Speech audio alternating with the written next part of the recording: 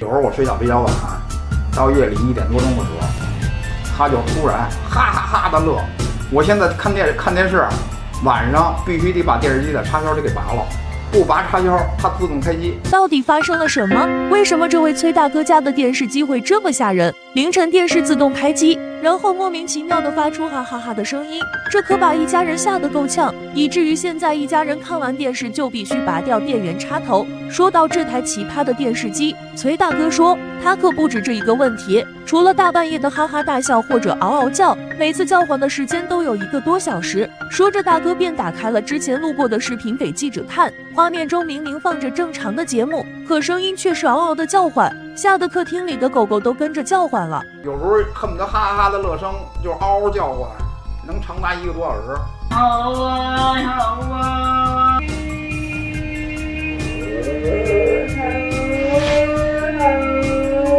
要自己调台，看没有？自己调台。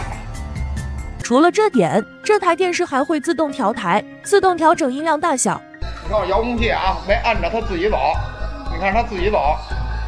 你按着根本就没用，反倒是拿着遥控器的人怎么按遥控器都不灵。除此以外，电视机还会自动下载游戏，还是付费的那种。面对这样的奇葩电视机，崔大哥一家赶紧联系了电视机厂家，对方也没经历过这样诡异的事情。商量之后，决定给崔大哥家换一台电视机试试。可他们前脚出了家里大门，后脚新换的电视机又开始接着抽风了。突然间就自动关机了，这样的场面让电视机的售后工作人员也是一头雾水。对，我们都把电视拉回来了，放我就是放我们网点那儿看了一星期，一点事儿没有。我们给他送了一个好的电视，送他家也直接自动开关机吗。既然不是电视机的问题，那就一项项的排查。后来排查了电视机的信号，找来了联通公司的工作人员，一开始怀疑是线路可能有影响。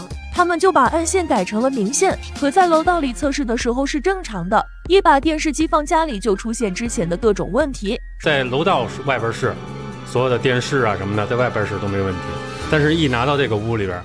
就同样出现这种问题。说来也奇怪，崔大哥家的楼上楼下邻居也都是联通的用户，他们家的电视也都正常的，他们最后也确实排查不出来原因。而且崔大哥家的卧室里的小电视机也是正常的，只是客厅的电视有问题。后来听说可能是家里的客厅受到什么信号的干扰，于是崔大哥切断了家中所有带电设备的信号。可这种情况依然存在，一点减轻的迹象都没有，各种方法都试过了还是没辙，这让崔大哥一家人是十分害怕。这么诡异的事情，加上还搞不清楚原因，这才是最让人瘆得慌的。视频看到这里，小凡想说。最有可能的还是信号干扰的问题。不过咱也不是专业的，我想问问视频前的大家，有没有人遇到过这样的情况，可以帮助到崔大哥一家？否则再这么下去，一家人精神上哪能受得了？有答案的可以在视频下方给我留言，关注我，带你看遍大千世界。我们下期再见。